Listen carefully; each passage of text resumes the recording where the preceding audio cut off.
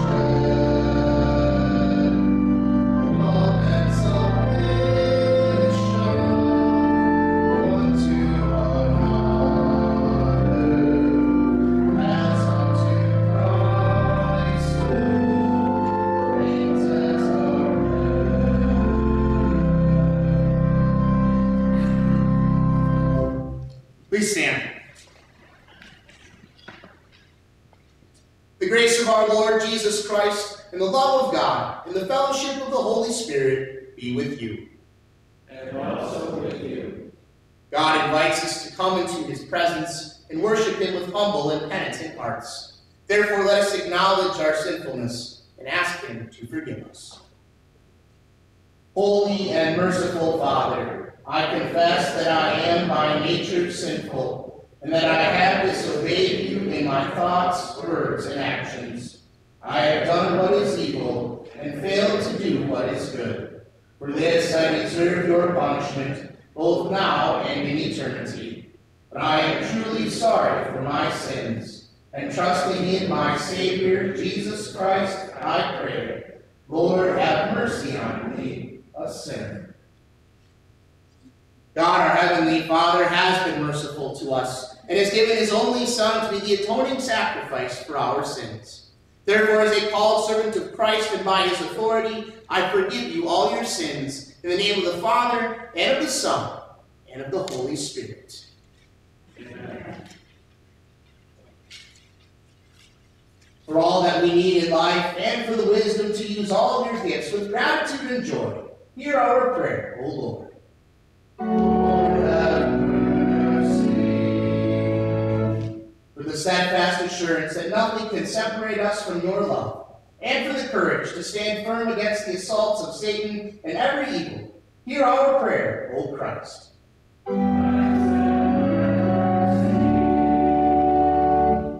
For the well-being of your holy church and all the world, and for those who offer here their worship and praise, hear our prayer, O Lord. Merciful God, maker and preserver of life, uphold us by your power and keep us in your tender care.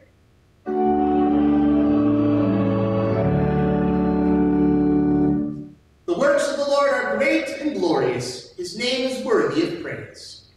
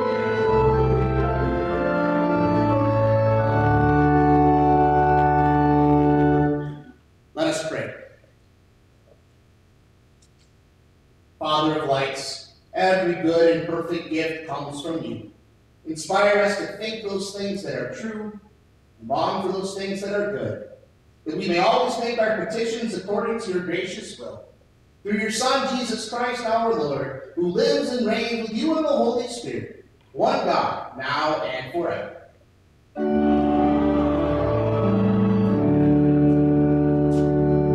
may be seated. First lesson for our consideration as we celebrate the sixth Sunday of Easter is found in Acts chapter 11, beginning with verse 19. Now those who had been scattered by the persecution that took place at the time of Stephen traveled as far as Phoenicia, Cyprus, and Antioch, speaking the word to no one except Jews. But there were some men from Cyprus and Cyrene who came to Antioch and also began to speak to the Greeks, preaching the good news about the Lord Jesus. The Lord's hand was with them and a large number of people believed and turned to the Lord. A report about this reached the ears of the church in Jerusalem, and they sent Barnabas to go on to Antioch. When he arrived and saw God's grace, he was glad and encouraged them all to remain true to the Lord with devoted hearts. He was a good man who was full of the Holy Spirit and faith, and a large number of people were added to the Lord. Then Barnabas went to Tarsus to look for Saul. When he found him, he brought him to Antioch. So for a whole year, they met with the church and taught a large number of people. It was in Antioch that, that the disciples were first called Christians. The word of the Lord. Thanks be to God. Our second lesson is found in the first letter of John, reading from the fourth chapter. This will serve as the basis for our sermon this evening. Dear friends, do not believe every spirit, but test the spirits to see if they are from God. For many false prophets have gone out into the world. This is how you can recognize the Spirit of God.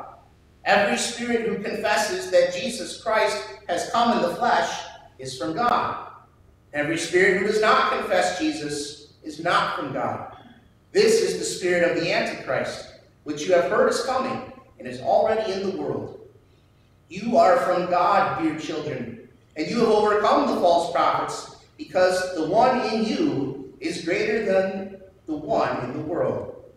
They are from the world. That is why they speak from a worldly perspective, and the world listens to them. We are from God. The one who knows God listens to us, but whoever is not from God does not listen to us. This is how we can distinguish between the spirit of truth and the spirit of error. Dear friends, let us love one another, because love comes from God. Everyone who loves has been born of God and knows God. The one who does not love has not known God, because God is love. This is how God's love for us was revealed. God has sent his only begotten Son into the world so that we may live through him. This is love. Not that we have loved God, but that he loved us and sent his Son to be the atoning sacrifice for our sins. Dear friends, if God loved us so much, we also should love one another. The word of the Lord. Thanks be to God. Alleluia, alleluia. Christ is risen. He is risen indeed. Alleluia. If anyone loves me, he will obey my teaching.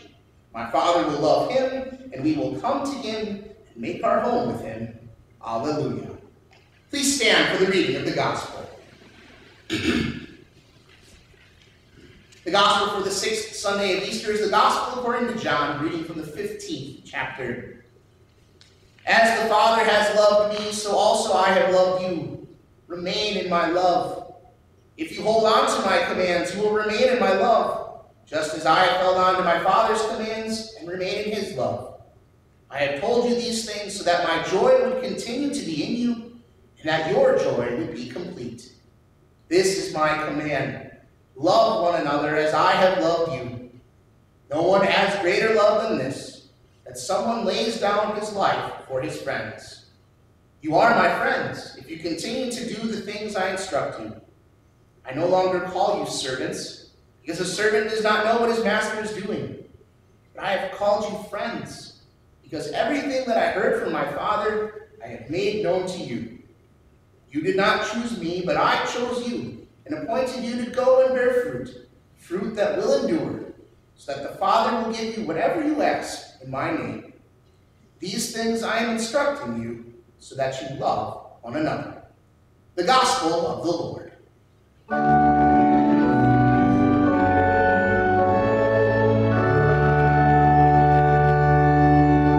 Congregation may be seated as we sing our hymn of the day in 365, Love Divine, All Loves Excelling.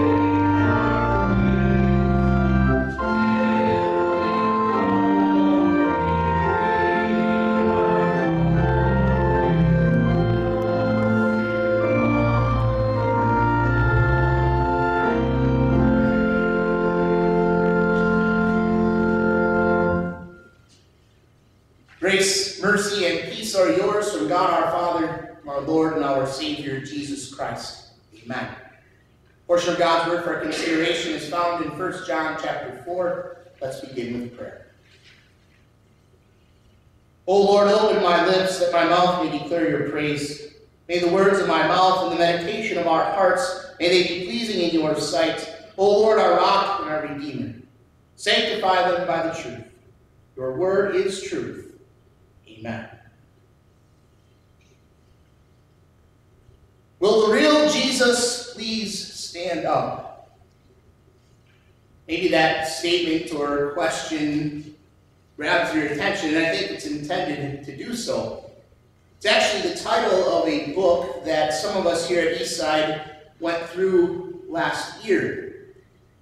And that provocative title immediately came to mind as I was studying for the sermon this week. John tells us to test the spirits to see if they are from God. Well, how do we do that? He says, Every spirit who confesses that Jesus Christ has come in the flesh is from God, and every spirit who does not confess Jesus is not from God. And that sounds simple enough, right? But it's more nuanced than that. People claim a lot of things about Jesus that just simply aren't true. People turn Jesus into someone who he is not and who he was never meant to be. And John says when people do that, this is the spirit of the Antichrist, which you heard is coming and is already in the world. That, that's right. There is a spirit out there right now who is actively working against Christ, actively working to keep our attention off of the real Jesus. So, what can we do? John says, test the spirits. And that's exactly what we are going to do today. Today we are going to see that God's truth overcomes false prophets. Listen again to John's encouragement. Dear friends, do not believe every spirit, but test the spirits to see if they are from God. For many false prophets have gone out into the world. This is how you can recognize the Spirit of God. Every spirit who confesses that Jesus Christ has come in the flesh is from God. Every spirit who does not confess Jesus is not from God. This is the spirit of the Antichrist, which you have heard is coming and is already in the world. From God's point of view, this issue of spiritual teachers is of enormous importance. That's what John calls the spirits here. They're spiritual teachers. Word and sacrament need to be brought to people because we are not born with them. Spiritual infants need strong spiritual leadership and sound teaching to help them grow. We need those spiritual teachers to bring us word and sacrament so that we can grow our faith. But the question is, who do you believe? Isn't that the question that we've been asking over and over again over the past year and a half?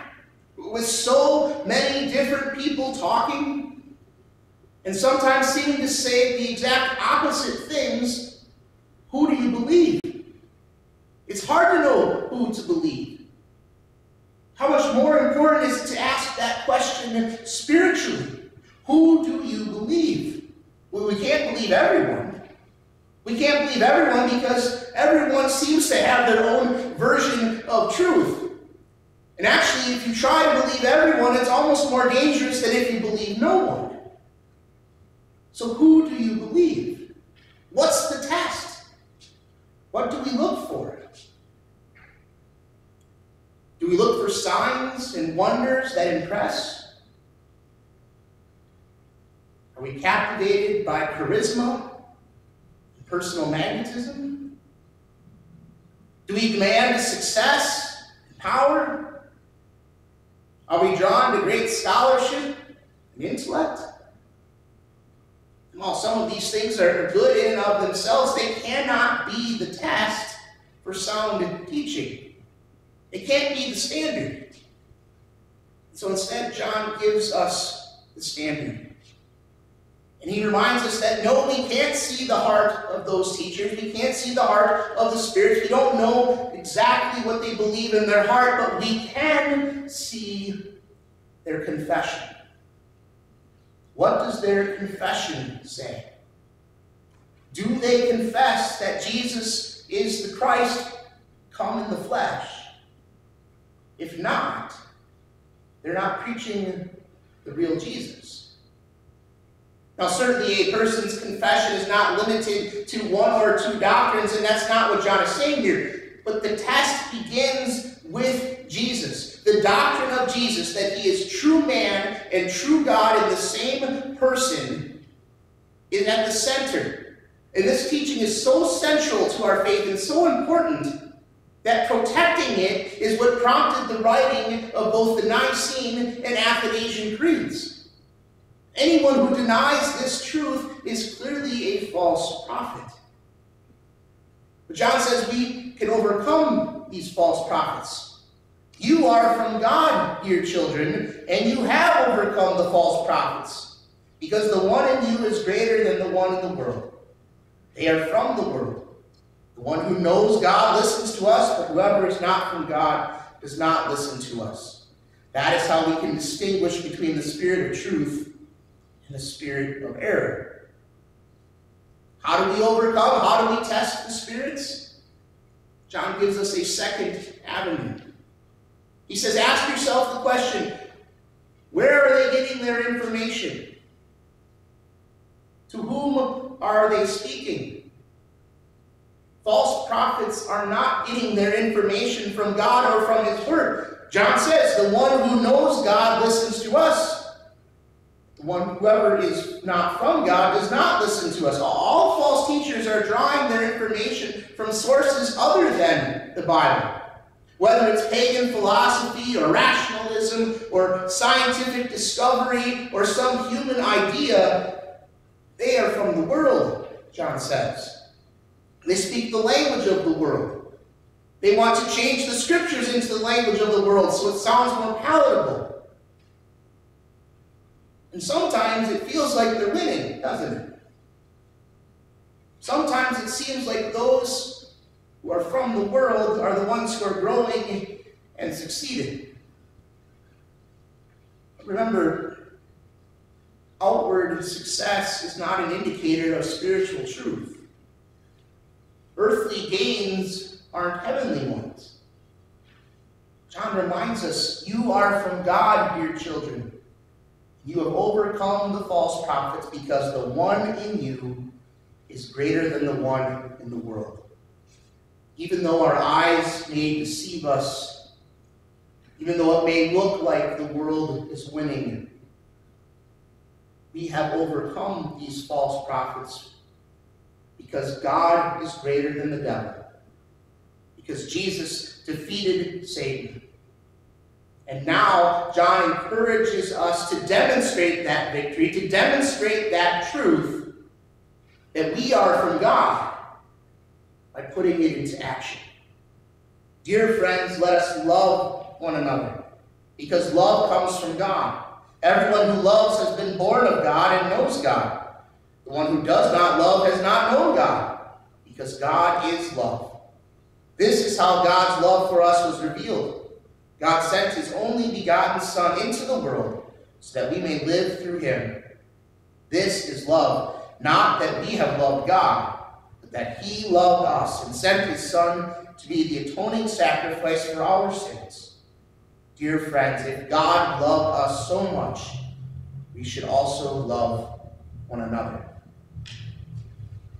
If you can remember from a couple weeks ago, when John refers to us as friends, he's really saying beloved or loved ones. You see the wordplay here in verse 7? Loved ones, let us love. Believers who are bound together in confession of the real Jesus are going to show that unity by loving. And how are we able to love? Because God has first loved us. Because we have been born of God and we know God. That, that word for know here is knowing by experience. We have experienced God.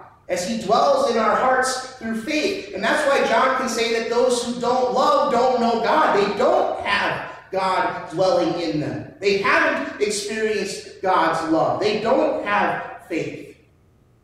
But we, the loved ones, do. And not only does John say that we are to love, but he defines exactly what that love is. This is love. Not that we have loved God, but that he loved us, sent, him, sent his son to be the atoning sacrifice for our sins. What is love? Love is doing what is best for the benefit of someone else without any personal consideration of the cost or consequences to yourself. And we see that kind of love in action in God's action of sending Jesus.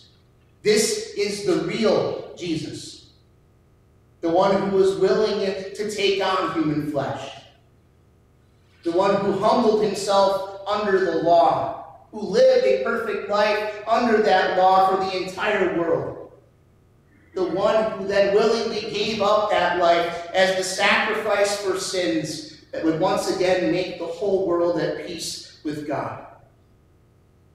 This is love. And if this past year and a half has taught us anything, it's that everyone needs to feel loved. On a scale of needs, love has to be at the top of the list. Love makes us feel like we have worth, like we are somebody. It is one of the highest and most important things that a parent can do for a child's well being. And our Heavenly Father shows us just how much He cares because every year He gives us Christmas and Good Friday. Annual reminders about how serious God is about adopting us into His family, about how seriously God loves us. And these are priceless thoughts that we can go back to again and again when doubts creep in. Doubts creep in about God's love. You see, the world doesn't know God. And so when the world looks at the conditions that we're living in, it quickly concludes that God is either powerless, or he's mean, or he's imaginary. And their evidence seems overwhelming. How can there be a loving God in the presence of COVID and cancer war and divorce and rape and child molestation. How can there be a loving God with all those things? But Christmas and Good Friday and Easter overcome those doubts and those conclusions. God has prepared the response to the greatest of human misery he has found a way for us to be with Him forever in heaven for free through Jesus. And if all of that is true, if God loves us so much, and John says we should also love one another. Now, I've never been there in person, but the waters of the Dead Sea are so saturated with salt that if you wade into them, you will naturally, automatically float. It's a, it's a very neat phenomenon. However, that water is unfit to drink, and it's useless for irrigation because water only flows into the Dead Sea, nothing ever flows out. In the same way, love needs to keep moving or we will stagnate. If we love one another, God's love is made complete, and then love stimulates more love. And in this way, hatred is melted, and wounds are healed, and grudges are forgotten, and grievances are forgiven. Hope is shared, emptiness is filled, and loneliness is is eased in human hearts. Friends, this is the test. Do the spiritual teachers hold forth the real Jesus? Do they hold forth the Jesus who lived and died and rose to save you? Do they encourage you to love based on the love that God has shown you? Pray that's the Jesus that is standing before you today. Because this Jesus and his truth is the one who has overcome the devil. And it's this Jesus and his truth that allows us to overcome false prophets. May this Jesus move you to actions, to love one another, because God has so loved you. Amen. Please stand.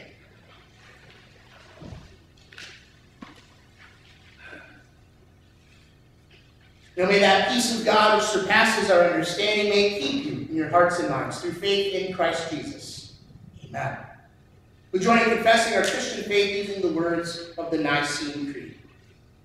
We believe in one God, the Father, the Almighty, maker of heaven and earth, of all that is seen and unseen. We believe in one Lord Jesus Christ, the only Son of God, eternally begotten from the Father God from God, light from light, true God from true God, begotten, not made, of one being with the Father. Through him all things were made. For us and for our salvation he came down from heaven, was incarnate of the Holy Spirit and the Virgin Mary, and became fully human. For our sake he was crucified under Pontius Pilate. He suffered death and was buried. On the third day he rose again in accordance with the Scriptures. He ascended into heaven and is seated at the right hand of the Father. He will come again in glory to judge the living and the dead, and his kingdom will have no end. We believe in the Holy Spirit, the Lord, the giver of life, who proceeds from the Father and the Son, who in unity with the Father and the Son is worshipped and glorified, who has spoken through the prophets. We believe in one holy Christian and apostolic church, we acknowledge one baptism for the forgiveness of sins. We look for the resurrection of the dead and the life of the world to come. Amen. You may be seated. At this time, the congregation takes time to think about the blessings that God has given us and to thank God for the opportunity to exercise our faith by giving offerings.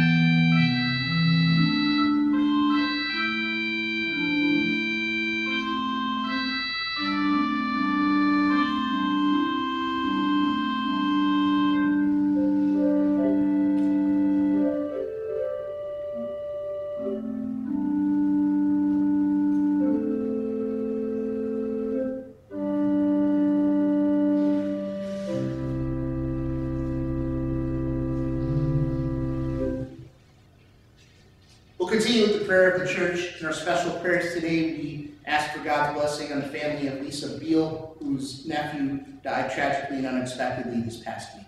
We pray. Almighty God, Father of our Lord Jesus Christ, we praise you for reconciling us to yourself through the sufferings and death of your dear Son. Through him we have the confidence to enter into your presence and to bring you our prayers and petitions.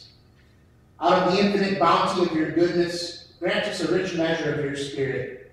Let the love of Christ fill your church, so that it may flourish in all good works. Help us show love and compassion for all who are in need. Bestow on the nations of the earth the knowledge of your mercy, that they may turn to you, the only God, and find salvation in you. Strengthen our faith so that we unfailingly come to you in prayer for all our bodily needs. Give a special measure of your power to those who are sorrowful or mourning, to those who are in pain or sickness, to those who may be in temptation or peril, that they may receive your blessed aid. Help us patiently endure any chastening and afflictions you permit to come into our lives, knowing that you are using them in love to prepare us for that joyful communion with you, which is ours for all eternity. Merciful Father, how mysterious are your judgments and your ways beyond our understanding. We are grieved by this untimely death, yet we seek refuge in your love, for you have assured us that it is more than, more than sufficient for our weaknesses. In these dark hours, help us make diligent use of your word and sacraments, so that by faith we may be able to resist the evil foe who seeks to destroy our souls, minds, and bodies. Take into your care those whose hearts and lives are so deeply affected by this tragedy, and lead them to look to you for confidence and strength to face the future. Sustain them with your merciful hand, and grant them your peace for the sake of Jesus, our mediator and redeemer. Accept our prayers and intercessions and provide for all our needs, not because we are worthy, but for the sake of Jesus, our Savior, who also taught us to pray. Our Father in heaven, hallowed be your name. Your kingdom come, your will be done on earth as in heaven. Give us today our daily bread. Forgive us our sins, as we forgive those who sin against us. Lead us not into temptation, but deliver us from evil. For the kingdom, the power, and the glory are yours, now and forever. Amen. Brothers and sisters, go in peace, live in harmony with one another, serve the Lord with gladness. The Lord bless you and keep you. The Lord make his face shine upon you and be gracious unto you. The Lord look on you with favor and give you peace. Congregation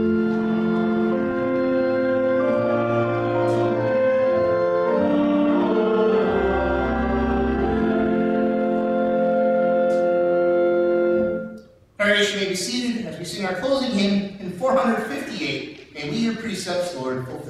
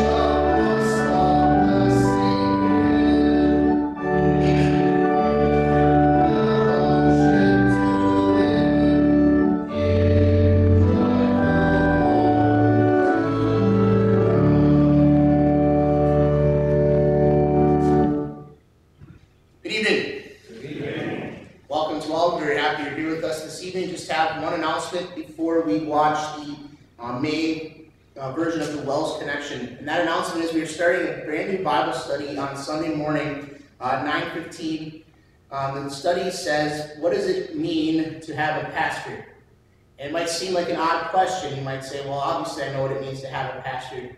But I think there's a lot of things that we don't think about that uh, a pastor can and should be doing for you um, if he only is able to uh, have that service. And so this is about a six-week study. It's going to look at different aspects of that. Um, now you're all here tonight, so if you want to come and join us in person on Sunday morning, we'd be glad to have you. But we also are going to be streaming that uh, Bible class uh, via Zoom. So when the email goes out on uh, Thursday with the recording of this service for those who can't be with us, there'll also be a link to that Bible study um, that'll be live streamed uh, at 9:15. And um, it's worked out really well for some who have done it in the past. Uh, Pastor Schlick will be manning the computer, so if you have questions, he can um, you type them into the chat and he can relay those questions to the group. So that's starting this Sunday um, at 9:15.